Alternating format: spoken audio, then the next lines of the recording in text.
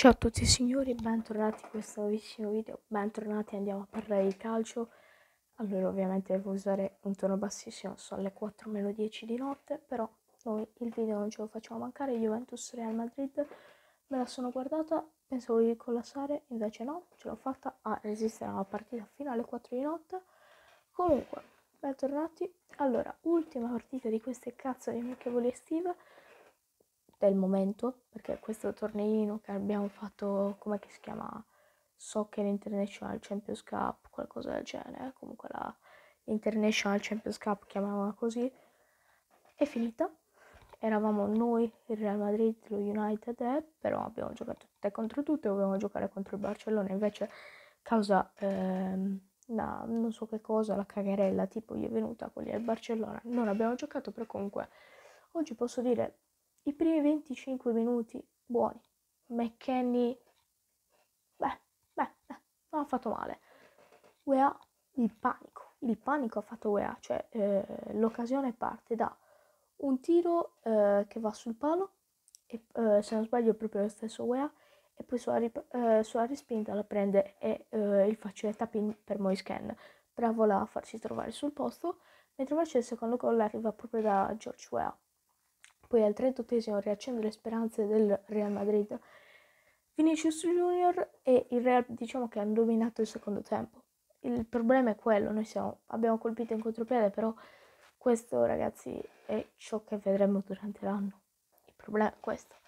La, la Juventus di Allegri quest'anno come l'anno scorso e abbiamo visto che punta tanto su un inizio spumeggiante come aveva fatto del resto l'anno scorso che aveva degli inizi veramente molto spumeggianti in alcune occasioni, per poi andare scemando e eh, richiudersi in difesa eh, ripartendo in contropiede.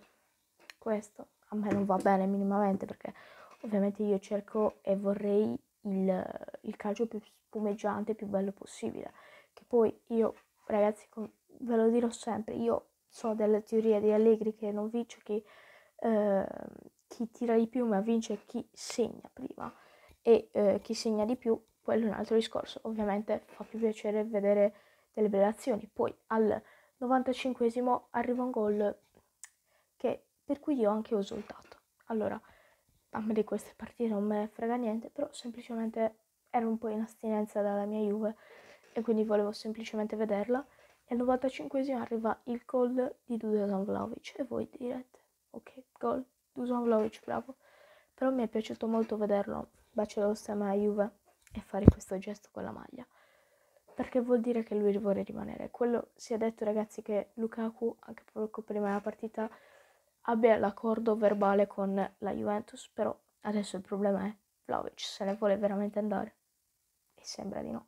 Io mi auguro che resti Vlaovic, anche se la vedo veramente molto difficile, però mi auguro ovviamente che resti.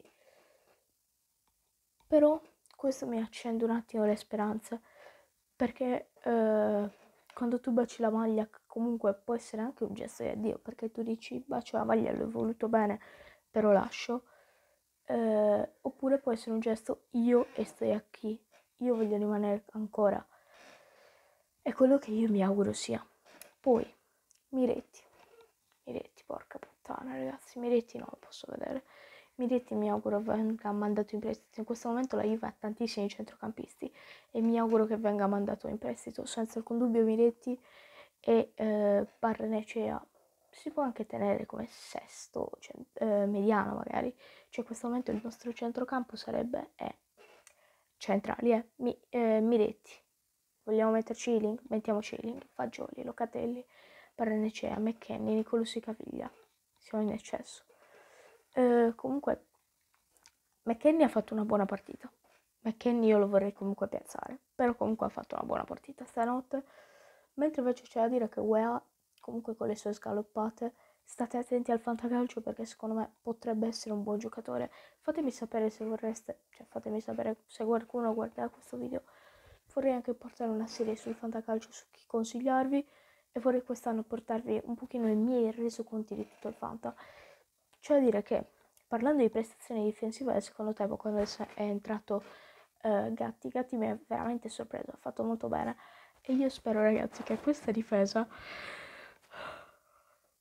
aspettate un secondo, eh, al posto di Alexandro qualcun altro, perché Alexandro è titolare, non si può vedere, un Danilo Bremer e, eh, e Gatti come titolari, però vorrei vedere questa difesa con Huisen.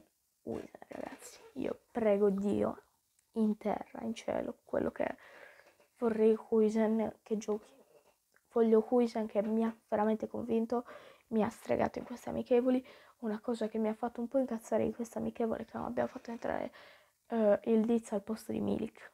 Mil- il Diz io lo voglio vedere dall'Under 23, secondo me può fare veramente tanto bene non in, in questa attuale Juve, però comunque in generale può fare bene. Mi auguro che Max lo faccia giocare. Il Real Madrid non ho molto su cui esprimermi, hanno più o meno fatto il calcio, eh, hanno più o meno giocato di più. Eh, c'è dire che comunque abbiamo due stili di gioco differenti, però abbastanza simili. Comunque io ragazzi, sono le 4 di notte, sto fuso, io vi saluto e ci vediamo domani, anzi stasera stasera, stamattina con un nuovo video. Sto fuso.